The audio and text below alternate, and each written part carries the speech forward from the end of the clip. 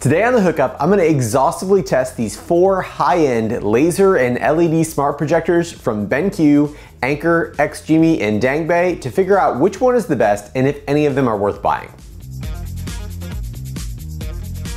Right up front, let me just say that if you bought any of these four projectors, I feel really confident that you'd be happy with your choice because all of them are really good, like super impressive. But on my channel, I can't just stop there. And if I'm gonna drop a big chunk of change on a new piece of tech, I need to know which one is the best and why. And if you're here watching this video, you're probably that kind of person too.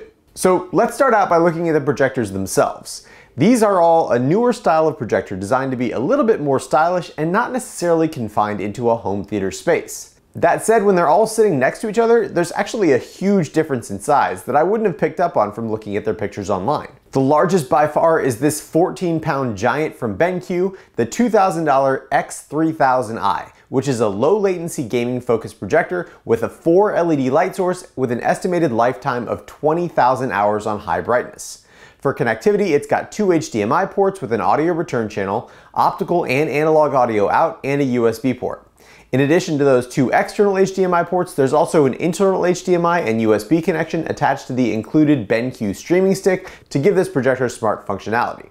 There's also a 12 volt trigger port and an RS-232 port like you might find on a more traditional projector. On the bottom are two front leveling feet and a traditional set of projector mounting points. Or if you plan on putting the X3000i on a shelf near the ceiling, it can also be inverted and rear leveling feet can be added to tilt the projector downward. The X3000i supports 4K at 60Hz or 1080p at up to 240Hz where it claims an insanely fast 4 milliseconds of response time. BenQ also claims that the X3000i has 3000 ANSI lumens, which is a huge amount of brightness for an LED projector, so we're definitely going to be testing both of those claims today. The second largest projector weighs in at just under 11 pounds, the brand new $2,199 Anker Nebula 4K laser, which as the name suggests is a laser light source 4K projector.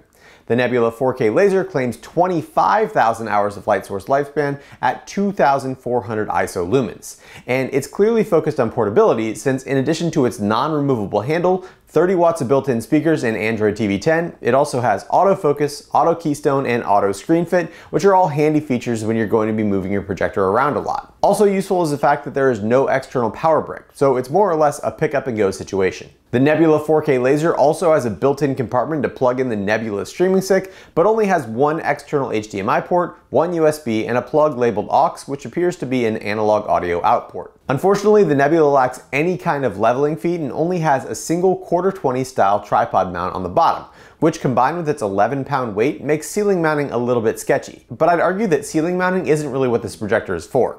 Slightly smaller than the Nebula, weighing in at 10 pounds by itself, or just over 11 pounds with its large external power brick, is the least expensive projector in this video.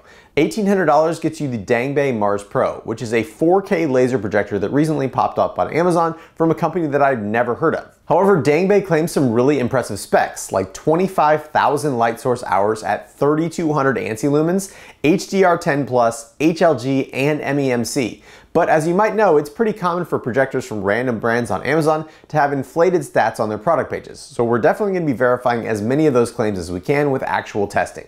Unlike the BenQ and the Nebula, the Dangbei has a form of Android 9 built in instead of on a streaming stick. And for external ports, there are two HDMI ports that support HDMI 2.1 and eARC, and there's also two USB ports, analog and optical audio out, and even an Ethernet port to hardwire your internet connection. On the bottom of Dangbei's glossy black exterior are four adjustable leveling feet with about a centimeter of travel each, a quarter 20 tripod mount, and if you remove three of those feet, you can use the threaded holes for a traditional projector ceiling mount. And then last, but definitely not least, is the $1,899 XGIMI Horizon Pro 4K, which is probably the best selling model of this new stylish projector category. The Horizon Pro is the smallest by far and weighs in at just six and a half pounds or just over eight pounds including its power brick. The Horizon Pro uses a more standard 3 LED light source and claims 25,000 light source hours at 2200 ANSI lumens. Aside from the slightly lower brightness than the other projectors, the Horizon Pro seems to have it all with features like autofocus and keystone, HDR10, MEMC, Android TV 10, fast response gaming mode, and powerful onboard speakers. And it does all that in a surprisingly compact form factor. Similar to the Dangbei, the Horizon Pro has two HDMI ports, two USB, optical and analog audio out, and an Ethernet jack. Also like the Dangbei, the Horizon Pro has four leveling feet, quarter 20 tripod mount, and the ability to remove those feet and use a standard projector ceiling mount. So let's get started testing out those claims. Starting with the big stuff. In my opinion, when it comes to projectors, you can basically never have enough brightness. If you have a purpose-built theater room with no windows, black walls, ceilings, carpet, and furniture, then too much brightness might be possible, but for normal people with normal living rooms, brighter is better. The standard measurement for projector brightness is the ANSI lumen, and it's calculated by projecting an all-white image, measuring the brightness at nine different segments, and then averaging those measurements and multiplying by the screen size in square meters. In this video, I also decided to go a little more in depth with my testing for these projectors and measured not only the white brightness, but also the black levels and red, green, blue, and pink color brightness. Overall, the brightest projector that I measured was the BenQ X3000i with 2269 ANSI lumens on its bright picture setting.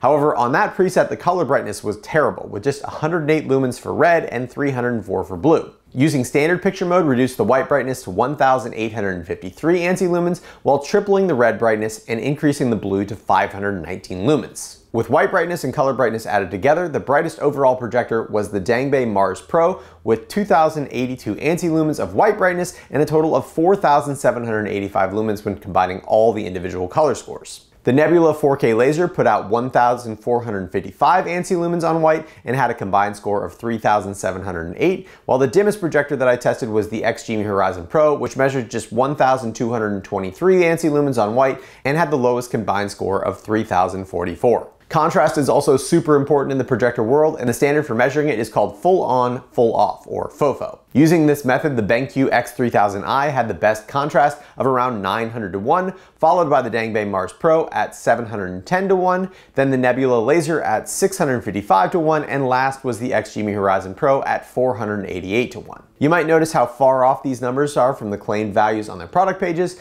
and I'm not claiming that my test results are more accurate than theirs, but I do know that all my tests were done under the exact same real world conditions, so they're definitely still useful for comparing these projectors to each other. But enough with the numbers, let's take a look at how these things actually translate into picture quality. I spent the last two weeks watching movies, sports, and playing Xbox games on these four projectors in all kinds of different lighting conditions. And this is what I found. Under ideal lighting conditions, meaning at night with the lights off, all the projectors expectedly looked amazing. I use a 120 inch 0.8 gain ambient light rejecting screen from Vividstorm in my living room, and I had no complaints about any of the projectors. I thought the BenQ X3000i was the most accurate as far as showing colors and contrast as the filmmaker intended, while the Dangbei Mars Pro produced an image with more of a wow factor. Some people call it the Best Buy demo effect because the image looks unnaturally saturated, but there's a reason that they use it on the showroom floor. It looks incredible and it sells displays. The same was mostly true during the day with the blinds open and some lights on, but we start to get an idea of how powerful these projectors actually are, and we start to see some differences in their brightness. Again, projecting onto my 120 inch 0.8 gain ALR screen, the Dangbei Mars Pro looked exceptionally bright and had great detail and contrast, while the Nebula 4K laser had the best black levels, but was harder to see the detail in the darker areas of the screen. The XGIMI Horizon Pro was the most saturated, while the BenQ had more muted colors, but still maintained good detail and contrast. Pushing these projectors to their absolute limits, I brought them outside onto my patio for some daytime projection, competing with the ambient light from midday Florida sun. And in this test, the Dangbei Mars Pro definitely produced the most watchable image with vibrant colors and pretty good contrast. And after that, I think I preferred the image from the Nebula Laser 4K, then the BenQ, and last, the XGIMI Horizon Pro seemed to struggle in this test due to its lower brightness. That means that overall, I personally preferred the Dangbei Mars Pro image in every single lighting condition. But overall, there wasn't that much difference in these four projectors, and as I said at the beginning of the video, they were all really good. So let's move on to some of the big differences in these projectors, starting with their smart OS. As I mentioned earlier, the BenQ X3000i and Nebula 4K laser have compartments to plug in a streaming dongle with Android 10. And as a result, there's a pretty distinct separation between the projector controls and the Smart OS controls. And I actually think that's really nice because if the Smart OS dongle ever fails, then the rest of the projector is still totally usable. And it opens up the possibility to just upgrade that portion of the projector later on without replacing the entire unit. In contrast, the XGIMI Horizon Pro and Dangbei Mars Pro have their Smart OS built in, and everything feels much more tied together. Though as a quick note, all the remotes do have a dedicated projector settings button, which is a really important feature for being able to tweak settings without needing to navigate back through the home screen. The XGIMI, BenQ, and Nebula are all running Android TV 10. But that doesn't mean they have the same capabilities. For whatever reason, Netflix requires each specific device to be Netflix certified and doesn't give out that designation easily. So out of the four projectors, the only one that can run Netflix natively is the Nebula Laser 4K, though I have heard rumors that BenQ is working on a replacement for their streaming dongle that will be Netflix certified. As far as other app compatibility, I didn't have any issues for apps like YouTube TV or Disney Plus on any of the Android 10 devices. The Dangbei though, oof.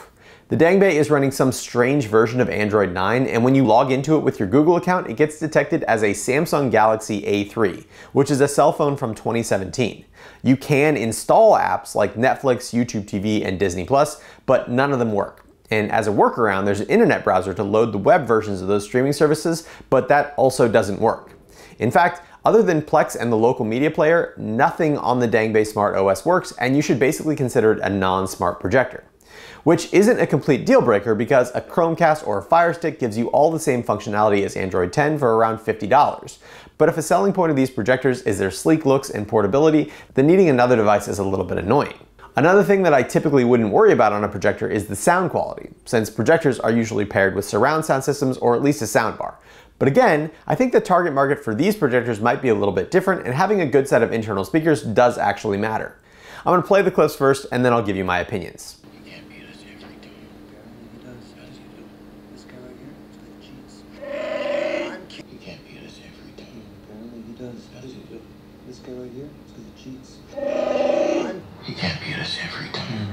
He does. How does he do it?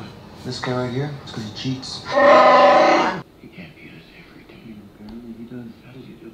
This guy right here, it's because he cheats.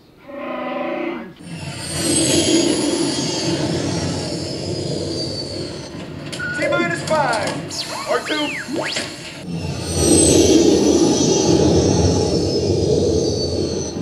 T minus five. Or two.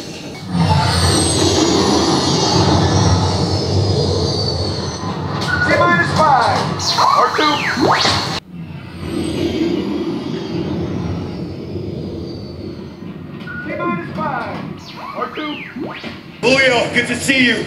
You got something for us? From a new ally, a spy in the First Order. A spy. Julio, good to see you. You got something for us? From a new ally, a spy in the First Order. A spy. Julio, good to see you. You got something for us? From a new ally, a spy in the First Order. A spy. Julio, good to see you. You got something for us? From a new ally, a spy in the First Order. In all situations, I thought the XGIMI Horizon Pro had the cleanest, fullest, and loudest sound by a pretty significant margin. After that was the Nebula Laser 4K, which had nice full sound, but was sometimes difficult to make out vocals when there was a lot of background noise. The Dangbei Mars Pro had decent bass, but lacked high end, which made it sound a little bit muffled, but I much preferred that over the BenQ X3000i, which was plenty loud, but lacked low end, and the internal speakers were way too tinny for me to be able to watch a whole movie on them. And in those clips, you might have also noticed the fan noise. So here's what each projector sounds like just by itself.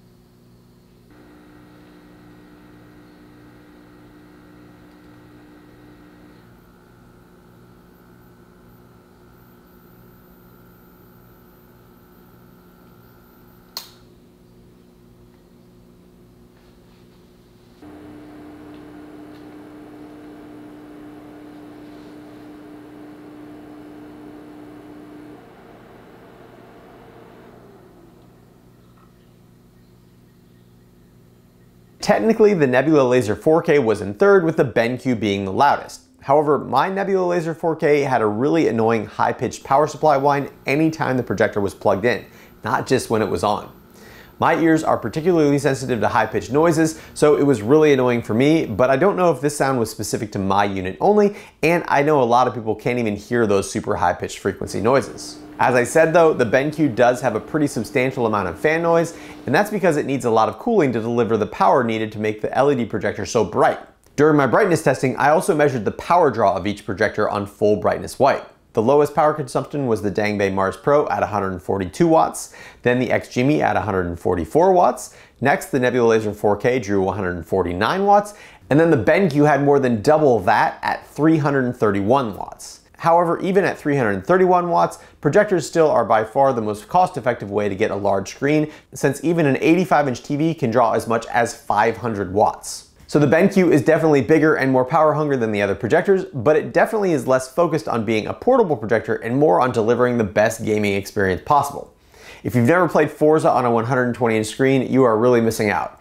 But a downside of projectors is often input lag, which is the time between when the video game console sends out the video signal and when it shows up on the screen. I tested the input lag against my LG C9 TV, and I found that in gaming mode at 4K 60Hz, the BenQ had an input lag of about 18 milliseconds, the XGIMI Horizon Pro was around 38 milliseconds, the Dangbei was at 46 milliseconds, and the Nebula came in at 71 milliseconds.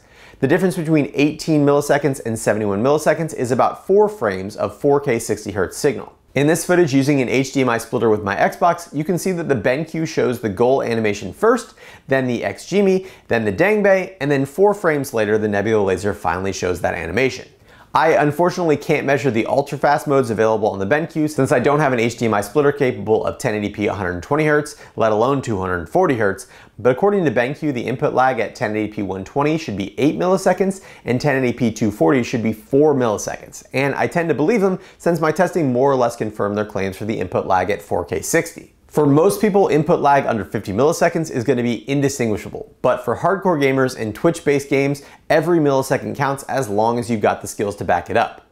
The Nebula does have a picture mode called Extreme Gaming that supposedly reduces the lag further using a 1080p signal, but in my testing it wasn't any different. Also important to note is that I tested all these input lags with no keystone adjustment, and any other image processing will cause more input lag. Because the BenQ is more focused on gaming performance, it doesn't have the advanced keystoning that you'd get on the other three projectors, so it need to be mounted more or less in line with the screen. It does, however, have optical zoom instead of digital, which gives you a little bit more freedom with how far you place the projector away from the screen. The Nebula Laser 4K, Dangbei Mars Pro, and Horizon Pro all have throw ratios around 1.25, meaning to get a 100 inch diagonal screen, they need to be around 109 inches away from the screen while the zoom lens on the BenQ adjusts the throw ratio from 1.15 to 1.5, so you could place the projector anywhere between 100 and 130 inches away from the screen for the same 100 inch diagonal screen. And since it's an optical zoom, you don't lose any resolution or introduce any input lag. Speaking of that advanced keystoning, the other three projectors have sensors on the front that do autofocus, auto keystone, and auto screen fit, but they definitely don't all work the same. The Dangbei automated focus almost never works until you hit the OK button to fine tune itself. And in the two weeks that I've been using it, I don't think I've ever seen the Dangbei get its auto keystone right. That said, the manual four point keystone works great and it's really easy to use. The Nebula Laser 4K does a little bit better than the Dangbei, but it still fails most of the time, and the manual adjustments are a little bit more annoying to get to since you need to disable automatic keystoning to get to the manual options. XGIMI, on the other hand, has been doing automatic keystone and automatic focus for a while, and they are the undisputed champion. Not only does it create the largest screen possible from any given angle, but the screen fit works amazingly well, and the whole process is surprisingly fast. The other great thing is despite how accurate it is, it always immediately gives you the option to fine tune the screen without having to go back through any other menus. So even though all these projectors are really good, I think my conclusions are actually pretty straightforward. If you want a projector to travel with, bring to a campsite, a tailgate, or a cookout, then the Nebula Laser 4K is an easy pick. It's sturdy, bright, loud, it's got a built-in power circuit, and it's got the added bonus of supporting Netflix out of the box. I wouldn't recommend the Nebula 4K laser for gaming focused setup since the input lag was pretty high, and permanently ceiling mounting it doesn't seem to make a whole lot of sense. If you are primarily using your projector for gaming and are planning on a more permanent setup with a ceiling mount, a screen, and separate audio system, then the BenQ X3000i is the obvious choice with its absolutely insane gaming performance, great colors, great brightness, and the Android TV 10 dongle is a nice added bonus. If what you're looking for is an easy to use projector that you can carry around anywhere in the house and set up in seconds with nearly perfect auto keystone and focus, then the XGIMI Horizon Pro is perfect for you. It has the best sound, great picture, good app compatibility except for Netflix, and a very competitive price, all in a surprisingly light and compact package. And this thing just works. If my parents or sisters asked me for a smart projector recommendation, the Horizon Pro would definitely be my answer. And then there's the Dangbei. I'm not gonna lie, I love it and I hate it but I mostly love it. It looks amazing in every single lighting condition. The sound isn't as good as the XGIMI, but it's definitely good enough to use on its own. The input lag is totally acceptable for casual gaming. I like the sleek look of it and the mounting options. The auto keystone sucks, but the manual one works fine. And don't forget, it's also the cheapest projector in this video. In fact, I like this projector so much that the inclusion of this garbage version of Android actually makes me angry. Literally nothing works on it and they would have been much better off leaving it out entirely and selling the Mars Pro as a dumb projector. Thankfully, through the magic of HDMI CEC, you can just plug in a Fire TV stick or Roku and control it with the Dangbei remote, but unfortunately, adding that smart OS adds one more thing that can break and one more software vulnerability, and I decided to just leave mine fully disconnected from the internet. Also, there's one more thing that I need to get off my chest. Why did they call this the Mars Pro? There's already a portable projector on the market called the Mars 2 Pro, and it's made by Anker. It looks like this. Speaking of which, look at how similar the remotes are for the Anker Mars 2 Pro and the Dangbei Mars Pro. There is no way that they could have missed this in a market analysis, and it doesn't make me super confident in Dangbei as a company. And that's the other huge problem preventing me from giving an overwhelming recommendation for the Dangbei Mars Pro. Before this projector came out, I had never heard of them as a company. So if your projector breaks and you need to contact them for help or replacement, I'm not sure how that process would go. In contrast, Nebula is owned by Anker, XGIMI is a well-established projector brand on their own, and BenQ has been making high-quality projectors since the 1980s. So yes, in my opinion, the Dangbei is the most well-rounded projector with a price tag that makes it extremely tempting. But if I were you, I wouldn't buy it unless you were okay with the possibility that it will break well before that 20,000 hour lifespan and you'll have no support or recourse. Though if you do buy it on Amazon, at least you've got their free 30-day return policy to protect you against a DOA projector. Speaking of which, I've got links down in the description for all the projectors in this video, and if this video was helpful for you to decide which projector to buy, I would appreciate if you could use those links, since as an Amazon affiliate, I get a small commission at no cost to you. Thank you so much to my awesome patrons over at Patreon for your continued support of my channel. And if you're interested in supporting my channel, please check out the links down in the description. If you enjoyed this video, please hit the thumbs up button and consider subscribing. And as always, thanks for watching The Hookup.